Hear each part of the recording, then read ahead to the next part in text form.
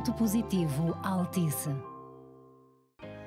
Ora, isto é uma história um bocadinho longa. Isto começou uma altura, anos antes, passei pela Marquês de Mora e andavam a gravar a primeira telenovela da TVI e vieram abordar se eu queria fazer parte da figuração. Eu nessa altura não aceitei, mas mais tarde fui à TVI, que era nessa altura ao pé da Igreja de Fátima, perguntar como é que podia entrar nessa vida da figuração. E eles, ah, nós aqui não fazemos propriamente isso, mas isso, posso-lhe dar o nome de umas agências e a senhora vai lá.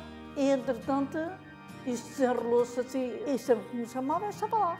O meu momento positivo é continuar a, na atividade da publicidade, que é o que eu sempre gostei de fazer e continuo a gostar.